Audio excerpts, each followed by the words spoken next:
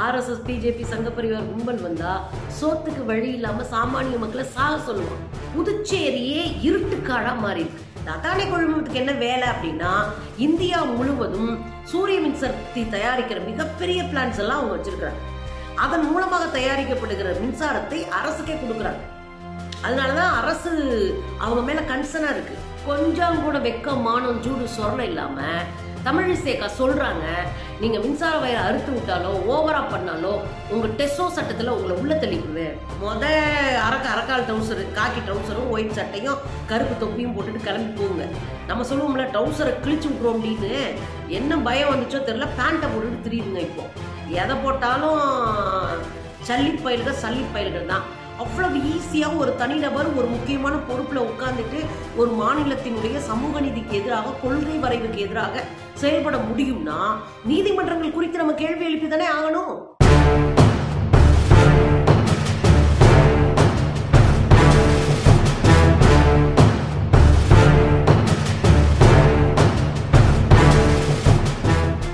வணக்கம் தோழர்களே. பாண்டிச்சேரி பற்றி எரிந்து கொண்டிருக்கிறது. எக்கச்சக்கமான பிரச்சனையில சிக்கி திண்டாடி கொண்டிருக்கிறது. எல்லா பக்கத்திலையும் ஸ்ட்ரைக்கு மக்கள் திரண்டு ரோட்டுக்கு வந்திருக்கிறாங்க. பாண்டிச்சேரி முதலமைச்சர் ரங்கசாமி தொலைஞ்சிட்டாரோ?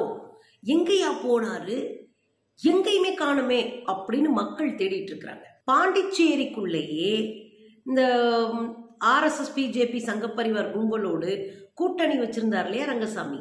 அவருடைய எம்எல்ஏக்கள் கொதித்து எழுந்திருக்கார் கூட்டணி பிஜேபி கூட்டணியில் இருக்கிற எம்எல்ஏக்கள் கொதித்து எழுந்திருக்காங்க என்னையா நம்மளோட டம்மி பீஸா வச்சுட்டு? எல்லா வேலையும் தமிழிசை சவுந்தரராஜன் பார்த்துட்டு இருக்காங்க நம்ம என்ன ரப்பர் ஸ்டாம்பா? நமக்கான உரிமையே இல்லாம இருக்கு. நம்ம தொகுதி கூட பணம் ஒதுக்குறதுல அவ்வளவு இது பண்றாங்க. அப்படின்னு கடுமையான பிரச்சனை போன வாரத்துல இருந்து நிகழ்ந்துட்டே இருக்கு. அதுக்கு இடையில மக்களும் திரண்டு எழுந்திருக்கிறார்கள் மக்கள் அதுக்காக திரண்டாங்க? ஏற்கனவே புதுச்சேரி மாநிலத்தினுடைய ஆளுநராக இருந்தவர். அது ஒரு யூனியன் பிரதேசம். ஆளுநருக்கு கூடுதல் அதிகாரம் உண்டு. அந்த அதிகாரத்தில் இருந்தவர் தான் கிரண்பேடி. கிரண்பேடி அன்னைக்கு இருந்த நாராயணசுவாமி என்கிற முதலமைச்சரை வேலையே செய்ய விடாம கட்டைய போட்டது இல்லாம எல்லா விஷயங்களுக்கும் மூக்கு நுழைக்கிறதும் நேரடியாக போய் ரோட்ல நின்றுட்டு மக்களை ப- படாப்படுத்தினதும் எல்லாமே அவங்க செஞ்சாங்க. கிட்டத்தட்ட ஐந்து ஆண்டுகள் எதுவுமே நடக்காம பார்த்துக்கிட்டாங்க.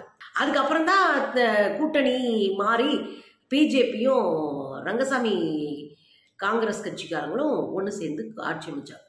சரி இந்த பிரச்சனை அப்படி ஓடிட்டு இருக்கும்போது இப்போ என்ன பிரச்சனைனா அந்த காலகட்டத்தில் இந்த அம்மா கிரண்பேடி அம்மா ரேஷன் கடையை மூடிட்டாங்க. நாங்கள் சொல்லலை ஆர்எஸ்எஸ் பிஜேபி சங்கப்பரிவார் கும்பல் வந்தா சோத்துக்கு வழி இல்லாமல் சாமானிய மக்களை சாக சொல்லுவான். நீ எதுக்கு உசுரோடு இருக்க? உன்கிட்ட காசு இல்லைல்ல. நீ எதுக்கு இருக்கணும்? அப்படின்னு நம்மளெல்லாம் சாக சொல்லுவான் அதைத்தான் அங்கேயும் செஞ்சான். ரேஷன் கடைன்றது சும்மா பார்க்கறதுக்கு உங்களுக்கு ஒரு சாதாரணமாக தெரியலங்க. பல கோடி சாமானிய ஏழைகளுக்கான உணவை கொடுக்கறது ரேஷன் கடை. அதனால தான் ரேஷன் கடையவே நம்ம உருவாக்கணும் நாட்டில். ஆனால் இன்னைக்கு என்னடான்னா அங்கே வந்து கிரண்பேடி மூடிட்டு போயிட்டாங்க. மக்கள் கொதிச்சு எழுந்து ரோட்டுக்கு வந்து முதல்ல மரியாதையா ரேஷன் கடையை திறக்கிறீங்களா இல்லையா அப்படின்னு பயங்கரமா சண்டை போட்டாங்க. போன வாரம் பூரா அது ஓடிட்டு இருந்துச்சு. ஒரு பக்கம் எம்எல்ஏக்கள் சண்டை போட இன்னொரு பக்கம் மக்கள்லாம் பொதுவாக திரண்டு ரேஷன் கடையை திறக்க சொல்லி கடுமையான போராட்டம். இன்னொரு பக்கம் இந்த வாரம் புதுச்சேரியே இருட்டுக்காடா மாறி இருக்கு புதுச்சேரி இருளில் மூழ்கி இருக்கிறது. எதுக்கு? அப்படின்னா ஏற்கனவே நம்ம பல முறை பேசியிருக்கோம். நான்கு ஆண்டுகளுக்கு முன்பே புதுச்சேரியில் தான் முத முதல்ல மின்சாரத்தை மின்சார திருத்த சட்டத்தின் மூலமாக தனியாருக்கு கொடுப்பதற்கான வேலைகள் நடைபெற்றது. நான் பல வீடியோக்கள் உங்களுக்கு ஞாபகம் சொல்லியிருக்கேன். இப்போ ஞாபகப்படுத்துறேன். இந்த மின்சார த- திருத்த சட்டத்தின் மூலமாக தனியாருக்கு இந்த மின் துறையை தாரை வார்ப்பதன் மூலமாக நம்மளெல்லாம் தெருவில் நிற்க வைக்கிறதுக்கான வேலையை புதுச்சேரியில் ஏற்கனவே ஆரம்பிச்சாங்கன்னு நான் சொல்லியிருக்கேன். அது போராட்டத்தின் மூலமாக நிறுத்தி வைக்கப்பட்டுச்சு. இன்றைக்கு திட்டவட்டமாக சட்டமன்றத்துல சட்டத்தை இயற்றி தனியாருக்கு நூறு சதவீதம் தாரை பார்ப்பது நூறு சதவீதம் இனிமேலும் புதுச்சேரியில தனியார்கிட்ட மட்டும்தான் மின்சாரம் வாங்க முடியும். அரசாங்கம் மின்சாரம் கொடுக்காது. நூறு சதவீதமும் விற்கிறதுக்கு சரியாயிட்டாங்க அப்படின்னு நட்டமா போகுதா? அப்படின்னா இல்லை. பலாயிரம் கோடி லாபம் சம்பாதிக்கிற ஒரு துறையாக புதுச்சேரியில மின்சாரத்துறை இருக்கு. அந்த துறையை நூறு சதவீதம் தனியாருக்கு பார்க்கிறாங்க. இப்ப என்னன்னா நம்மளுடைய வரிப்பணத்துல மின்சார கட்டமைப்புகளை பூரா உருவாக்கிட்டோம். இப்ப நோகாம நோன்பு கும்பிடுதுன்னு கேள்விப்பட்டிருப்பீங்க. ரொம்ப கஷ்டமே இல்லாம மின்சாரத்தை கடத்தி அதை மின்சாரத்தை விநியோகம் பண்ணி அதன் மூலமாக காசு ஈட்டுறதுக்கு தனியார்களுக்கு நூறு சதவீதம் மோடி கும்பல் கையில கொடுத்துருச்சு. இதை யார் செய்ய போறா? மோடியினுடைய உயிர் தோழன் உயிர் நண்பன் அத்தானி குடும்பம் தான் இதெல்லாம் செய்ய போகும் இந்த அத்தானி குழுமத்துக்கு என்ன வேலை அப்படின்னா இந்தியா முழுவதும் சூரிய மின்சக்தி தயாரிக்கிற மிகப்பெரிய பிளான்ஸ் எல்லாம் அவங்க வச்சிருக்கிறாங்க. அதன் மூலமாக தயாரிக்கப்படுகிற மின்சாரத்தை அரசுக்கே கொடுக்குறாங்க. அதனாலதான் அரசு அவங்க மேல கன்சர்னா இருக்கு. ஒரு ஒரு கூடுதல் தகவல் ஒன்று சொல்லவா? மஞ்சள் நோட்டீஸ் கொடுத்துட்டோம்னு வச்சுக்கோங்க.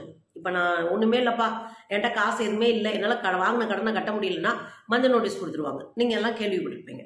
அப்படி நோட்டீஸ் கொடுத்துட்டோம்னா நம்ம கையில் இருக்கிற அஞ்சு பத்து இருக்கிற ஏதோ ஒன்றத்தை விற்று நம்ம கடனை போக மீத காசை நம்ம கொடுப்பாங்க. அப்படி இல்லைன்னா விற்று மொத்தமாக எடுத்துக்குவாங்க. அரசு எடுத்துக்கும். இதுக்கு ரூலெல்லாம் இருக்குது ஆனால் அரசு அஞ்சு ஆண்டுகளுக்கு முன்பு ஒரு திருத்தத்தை சொல்லியிருக்கு. என்னவா? இந்த மின்சார துறையில் மட்டும் மஞ்சள் நோட்டீஸ் விட்டா அதை வந்து அவங்க சொத்துக்களை பறிமுதல் பண்ணதை செய்யக்கூடாது. இது என்னையா புதுசா இருக்கு அப்படின்னு பார்த்தா மின்துறையில மோடியுடைய நண்பர்கள் தான் அதிகமா இருக்கிறாங்க. ஒருவேளை அவங்க நட்டப்பட்டாங்கன்னு அப்படின்னு ஒரு பொய்யான ஒரு பிம்பத்தை காட்டி கோடிக்கணக்காக வாங்கிய பணத்தை வாயில போட்டு ஏப்பம் போட்டுக்கலாம். ஏன்னா அவங்ககிட்ட வசூலிக்க தேவையில்லைல்ல. ஏன்னா சட்ட திருத்தம் பண்ணியாச்சுல்ல. இப்படி சூரிய மின்சக்தி தயாரிக்கிறவங்கள்ட்ட மாத்திரம் நீங்க மஞ்சள் நோட்டீஸ் விட்டாலும் சொத்த பறிமுதல் பண்ண முடியாது. இது எவ்வளோ பெரிய அயோக்கியத்தனம்? அதே அயோக்கியத்தனத்தை தூக்கிட்டு வந்து தான் இங்கே பாண்டிச்சேரியில் எல்லாத்தையும் தனியார் கொடுக்க போகிறேன் இப்போ நீங்கள் நினைக்கலாம் தனியார் கொடுத்தா நல்லா தானே இருக்கும் அப்படின்னு. பார்க்க பளபளப்பாக இருக்கும் உள்ள ஓட்டையாக இருக்கும். என்ன பிரச்சனைன்னா இப்போ அரசாங்கம் அஞ்சு ரூபா ஐம்பது பைசாவுக்கு மின்சாரத்தை பாண்டிச்சேரியில் வாங்குறாங்க. ஆனால் மக்களுக்கு எவ்வளோ கொடுக்குறாங்க ஒரு யூனிட்டு? ஒன்று புள்ளி தொண்ணூறு. ஒரு ரூபா தொண்ணூறு காசு கொடுக்குறாங்க. இந்த நாலு ரூபா கிட்டத்தட்ட மூன்று ரூபாயை அரசு மானியமாக கொடுக்குது. புரியுதுங்களா? அரசு மூன்று ரூபா முப்பது கா மூன்று ரூபா நாற்பது காசு. அரசு மானியமாக கொடுத்து மக்களுக்கு எல்லாரும் கரண்ட்டை பயன்படுத்திக்கலாம்னு சொல்லுது. இந்த அரசு இன்னொன்று என்ன பண்ணுதுன்னா இலவச மின்சாரம்.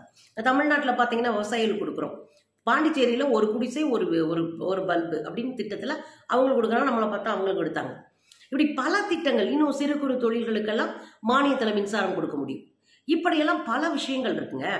இதெல்லாம் இல்லாமல் போயிடும் தனியார் வாங்கிட்டு உங்களுக்கு ஓசிலெல்லாம் மின்சாரம் கொடுக்க மாட்டாங்க. அதே போல அஞ்சு ரூபா ஐம்பது காசுக்கு வாங்கின மின்சாரத்தை உங்களுக்கு ரெண்டு ரூபாய்க்கு கொடுக்க மாட்டாங்க. ஒரு ரூபா தொண்ணூறு காசு கொடுக்க மாட்டாங்க. அவன் அஞ்சு ரூபா ஐம்பது காசுக்கு வாங்கினா குறைஞ்சபட்சம் ஒரு மூணு ரூபா லாபம் வச்சு ஒரு எட்டு ரூபா ஐம்பது காசுக்கு உங்களுக்கு கொடுக்கலாம். இல்லைன்னா பத்து ரூபாய்க்கு கொடுப்பான். அப்போ இன்னும் ஒரு மடங்கு உங்களுக்கு கூட போயிடும். ஒரு மடங்கு என்ன? நீங்க இப்ப ரெண்டு ரூபாய்க்கு தானே வாங்குறீங்க. இது அப்படியே எட்டு ரூபாய் ஆச்சுன்னா மூன்றரை மடங்கு நாலு மடங்கு கூட போயிடும். அப்போ நீங்கள் இன்றைக்கி ஆயிரம் ரூபா கட்டிட்டு இருக்கீங்கன்னா ஐயாயிரம் ரூபா மாதம் கட்ட வேண்டியது வரும். இப்போ முந்நூறுரூவா கட்டுறீங்கன்னா ஆயிரத்தி முந்நூறுரூவா கட்டுற மாதிரி வந்துடும் இது எவ்வளோ பெரிய அராஜகம் அயோக்கியத்தனம். இன்னொரு விஷயமும் இதில் சிக்கல் இருக்குது எப்போ வேணாலும் அவங்க ஏற்றிட்டே போகலாம். உற்பத்தி கம்மியாகுதுன்னா மின்சாரத்தை ஏற்றி அதிக விலைக்கு விற்க வாய்ப்பு இருக்கு. ஏன்னா தனியார் அவன் லாபத்தை மட்டும்தான் வைப்பான் அரசு மாதிரி அது சேவையாக செய்ய மாட்டான். அப்போ அதுவும் போயிடும் இன்னொரு விஷயம் இருக்குது இதுக்குள்ள. இப்போ மின்சாரத்து ஊழியர்கள் இருக்காங்க. அவங்களாம் அரசு பணியாளர்கள். அதில் ஒப்பந்த தொழிலாளர்கள் இருக்கிறாங்க. இந்த அரசு பணியாளர்கள் எங்கே போவாங்க? மின்துறை நூறு சதவீதம் நீங்கள் தனியார் கொடுத்துட்டீங்கன்னா இவங்கெல்லாம் தனியார் தொழிலாளர்களாக மாறிடுவாங்க. அப்போ இந்த தனியார் தொழிற்சாலையில் என்ன நடக்கும்? வேலை எங்களுக்கு அதிகமாக இல்லை அப்படின்னு சொல்லி ஆள் குறைப்பாங்க. ஆளை குறைச்சி வீட்டுக்கு அனுப்பிடுவாங்க. ஆளை குறைச்சி வீட்டுக்கு அனுப்புறது மட்டும் இல்லைங்க சம்பளத்தை குறைப்பான். ஃபண்டு டிவிடெண்ட்டு இந்த லாபத்தில் பங்கு இதெல்லாம் குறைப்பான். அது மட்டும் இல்லை லீவு அது இதுன்னு கேட்க முடியாமல் அதெல்லாம் கை வைப்பான். அது மட்டும் இல்லைங்க பென்ஷன்லாம் கை வைப்பான். அப்போ உங்களுக்கு பணி பாதுகாப்பு இருக்காது தனியார்கிட்ட போனால் அதனால தான் இன்னைக்கு என்ன ஆயிருக்கு அப்படின்னா த- பாண்டிச்சேரியில் இருக்கிற ரெண்டாயிரத்துக்கு மேற்பட்ட மின்சாரத்துறை ஊழியர்கள் மிக கடுமையான போராட்டத்தில் கடந்த மூன்று நாட்களாக இருக்கிறாங்க. இந்த மூன்று நாட்கள் அவங்க என்ன பண்ணுறாங்க அப்படின்னா மின்சாரம் சம்மந்தப்பட்ட எந்த வேலையிலையும் அவங்க தலையிட அவங்க பாட்டு ரோட்ல வந்து உட்காந்து தொடர் போராட்டத்தை அறிவிச்சு உட்கார்ந்து இதில் இதுல இன்னொரு விஷயம் என்ன அப்படின்னு சொன்னா இதுல பல இடங்கள்ல மின்சாரம் பழுதுபட்டாலோ மின்சார தடை வந்தாலோ அதை இவங்க போய் செய்யவே இல்லை.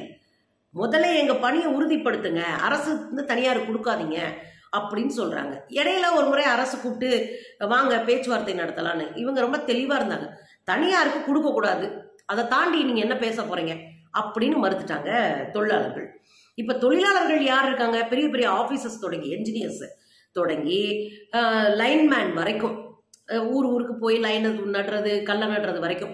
அந்த லைன்மேன் வரைக்கும் இருக்கிற அத்தனை தொழிலாளர்களும் உள்ள பழுது பார்க்குறவங்க இருப்பாங்க. உள்ள வந்து கணக்கெடுக்கிறவங்க மின்சாரம் எத்தனை யூனிட் ஓடி இருக்குன்னு கணக்கெடுக்கிறவங்க இருப்பாங்க.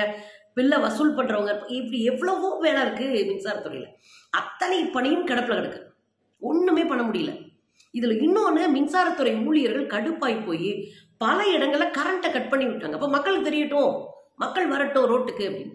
மக்களும் இன்றைக்கு அரசு மேல அதிருப்தி மித்தல கடும் கோபத்துல இருக்கு. ஒரு பக்கம் எல்லா அந்த கூட்டணி கட்சியில் இருக்கிற எம்எல்ஏக்கள் அதிருப்தியில கடுமையா வெளியே போயிட்டு இருக்கிறாங்க. இன்னொரு பக்கம் ரேஷன் கடைக்காக மக்கள் போராடிட்டு இருக்கிறாங்க. இன்னொரு பக்கம் நீங்க பாத்தீங்கன்னா மின்சாரத்திற்காக மின்சாரத்துறையை பாதுகாக்க வேண்டும் என்பதற்காக அரசினுடைய சொத்தை தனியாருக்கு தாரை வார்ப்பதை எதிர்த்து தொழிலாளர்கள் போராட்டம் நடத்திட்டு இருக்காங்க.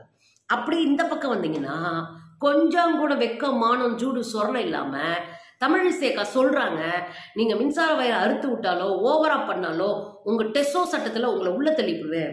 ஜெயலலிதா பீரியட்ல தள்ளினாங்க தெரியுமா டீச்சர்ஸ எங்க அம்மா கூட அப்ப வந்து டிஸ்மிஸ் ஆயிருந்தாங்க. டெஸ்டோ சட்டத்துல உங்களை உள்ள தள்ளிடுவேன் அப்படின்னு மிரட்டி இருக்கிறாங்க இன்னைக்கு. அவ்வளவு மிரட்டல்லாம் ஆகாதுக்கா. ஏன்னா இங்க இருக்கிறவெல்லாம் பயந்தாங்குழிக்க கிடையாது.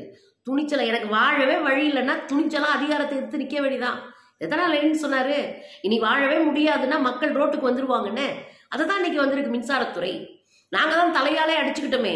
ஏற்கனவே நாலு வருஷத்துக்கு முன்னாடியே இந்த திருட்டுத்தனத்தை நீங்கள் பண்ணீங்க. இன்னைக்கு மின்சாரத்துறையினுடைய அமைச்சு அமைச்சராக நமச்சிவாயம். அது ஒரு துரோகி. காங்கிரஸ்லேருந்து பொறுக்கி தின்றதுக்காகவே இங்கே வந்த துரோகி. பார்த்தாலே எரிச்ச வர்ற ஒரு மூஞ்சி. அண்ணாமலையை கூட விட்டுறலாம். இந்த ஆள் ரொம்ப டேஞ்சர் இந்த ஆள் மின்சாரத்துறையினுடைய அமைச்சராக இருக்காரு. இவர் என்ன பண்ணி வச்சிருக்காருன்னா ஆர்எஸ்எஸ்ல இன்னைக்கு ரெண்டாம் தேதி அங்க பேரணி போறாங்க. காலையிலே மதச்சார்பற்ற முற்போக்கு கூட்டணி எல்லாருமே கடுமையான கோபத்தோட ஒரு பேரணி நடத்தினாங்க. மக்கள் அதில் கலந்துக்கிட்டாங்க. கட்சிக்காரங்க மட்டும் இல்லாமல் மக்களும் கலந்துக்கிட்டு ஆயிரக்கணக்கான பேர் திரண்டு அரசுக்கு எதிராக சமூக நல்லிணக்கம் வேண்டி ஒரு பேரணி நடத்துறாங்க சாயந்தரம் பாத்தீங்கன்னா ஆர்எஸ்எஸ் பேரணி.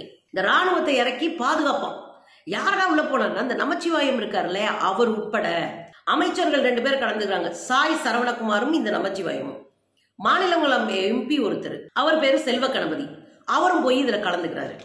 இப்ப வெளிப்படையாக ஒரு அரசினுடைய மந்திரிகள் ஒரு சாதி ரீதியாக மத ரீதியாக மக்களை துண்டாடக்கூடிய உலகத்தில் இருக்கிற அத்தனை அறிஞர்களாலும் பயங்கரவாதிகள் என்று குற்றம் சாட்டிய இந்த ஆர்எஸ்எஸ்ஐ ஒரு ஆர்எஸ்எஸ் பேரணியில் முன்னாடி ட்ரெஸ்ஸை மாட்டிக்கிட்டு காக்கி பேண்ட்டையும் சட்டையும் ஒன்று சொல்ல மறந்துட்டேனே.